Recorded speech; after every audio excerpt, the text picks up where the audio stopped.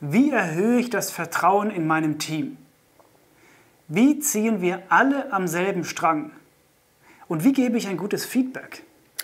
Diese und ein paar andere nicht ganz unwichtige Fragen rund um Zusammenarbeit beantworten wir am Herbstseminar von Coiffeur Suisse.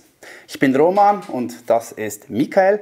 Wir sind die Autoren des Buches Zusammenarbeiten und freuen uns schon jetzt, dich in Interlaken kennenzulernen. Bis dahin. Go Team! Yeah.